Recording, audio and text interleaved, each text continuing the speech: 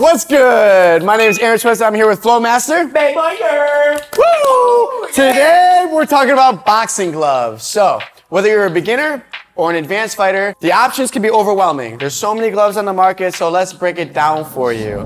Number one, The fitness glove, baby. The fitness training glove. Okay, so there's a huge array of different types of fitness and training gloves, right? You can get $30 gloves all the way up to $200 gloves. These are the FightCamp gloves. These are really quality, not to push our own product, but they really are a great glove for around 150 bucks. On the other hand, if you get a pair of gloves for around 20, 30, 40 bucks, you get what you pay for. And I wanna tell you why. When you put these gloves on, your knuckles don't land in the right spot. So when you hit something, a lot of times you're hitting with the bottom knuckles and it feels awkward. You have to land with the top two knuckles. So the way the glove is molded will make a big difference in how your punches land. All right, the second one is, yeah, get those out of here. Competition gloves. All right. Glove. So here, we've got a great pair of gloves. These are called Cleto Reyes. These are expensive. They're probably about 200 bucks.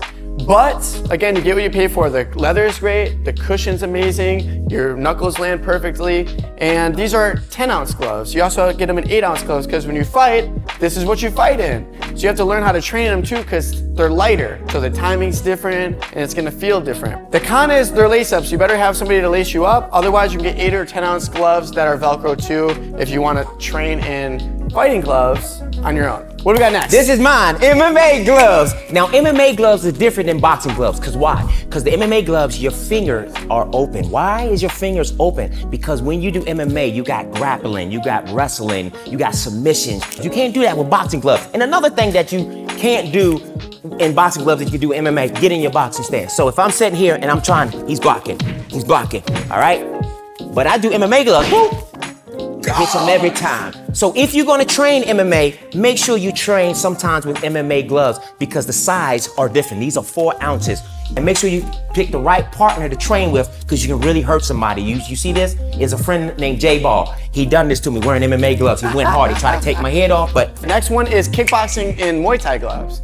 So I got a couple options here. These are twins. This is a great glove.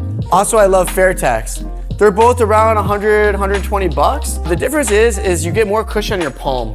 And you also get some more cushion on the side of the gloves because in Muay Thai, you're blocking kicks. So you need more cushion to absorb the kick on the palm. And also you might catch some elbows or knees. So you just need more cushion all around. All right, next. Sparring gloves. Woo! All right, so check it. These are Winnings, the best glove on the market. to him, but to me, no, they're not. I don't know why you don't like Winnings, but to me, these come broken in. I mean, day one, you can open your hand, they feel so good. The leather is amazing, the cushion's amazing, but they're about $400.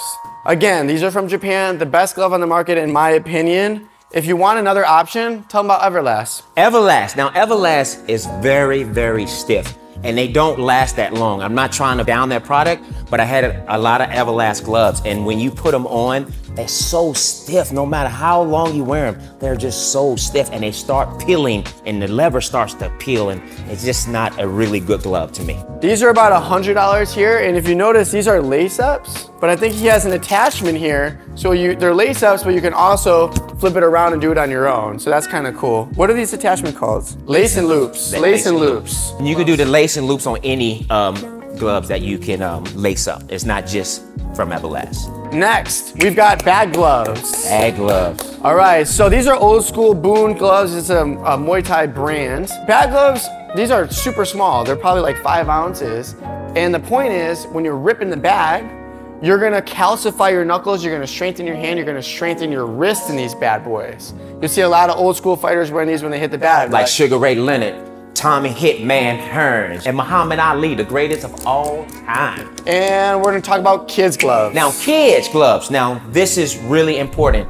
You want to try to stay 10 ounces to 8. When you go over anything that's 10, when a kid is just still developing his muscles, you don't want to put extra pounds on them. So you want to stay away from the 14 and the 16 because they still developing their muscles. So that's why normally kids always train with 10 ounces. But when they get to 14, to 15, then that's when you want to start going to the 14 and the 16s. We also have these FightCamp Kids gloves. These are six ounces, so if the kid's a little bit younger, like five to eight to nine years old, this is a good, yeah, that's the move. Yes. So that's it. Those are all of our gloves. But wait a minute.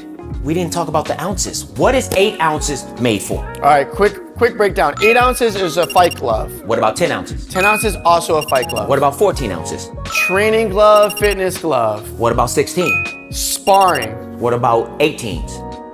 Sparring, if you're really trying to be safe and not hurt your partner, or conditioning because it's good for your shoulders. The heavier the glove, the harder it is on your shoulders, so you're gonna build the punch muscles. And sometimes I wear 24s because they do make 24 ounces pair of gloves, and I wear that just for conditioning. But when I'm fighting somebody who's better than me, I gotta put on them 10 ounces, baby, because I gotta be moving, I gotta be moving, I gotta be moving, I gotta be moving. Like when you fight me. Uh, no, not at all. Anyway, so that's it.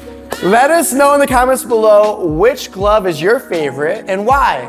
And as always, check out FightCamp, like and subscribe for more boxing and kickboxing content. We'll see you on the next one. Peace.